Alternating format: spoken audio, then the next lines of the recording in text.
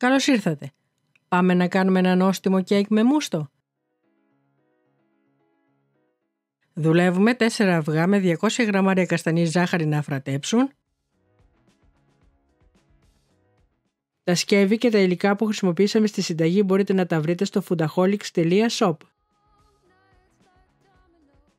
Προσθέτουμε 200 ml σπορέλαιο και ανακατεύουμε.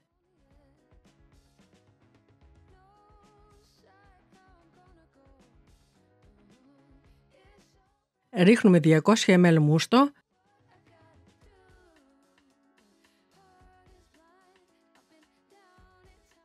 ...200 ml γάλα και ανακατεύουμε.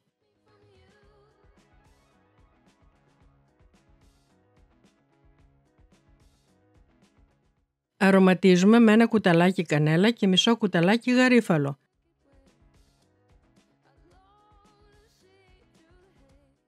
Ενσωματώνουμε 10 γραμμάρια μπέικιν και 500 γραμμάρια αλεύρι που φουσκώνει μόνο του.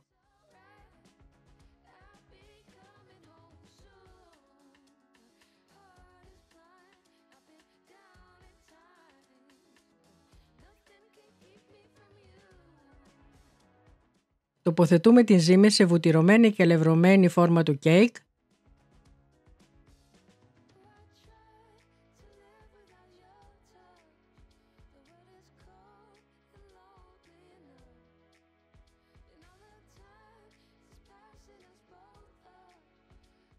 την κουνάμε ελαφρώς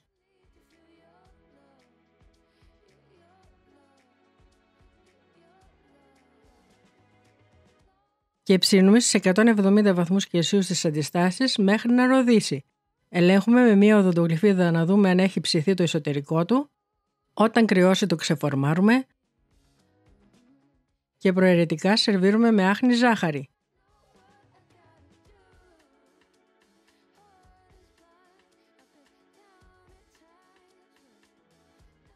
Στην περιγραφή κάτω από το βίντεο θα βρείτε link με περισσότερες πληροφορίες για τη συνταγή.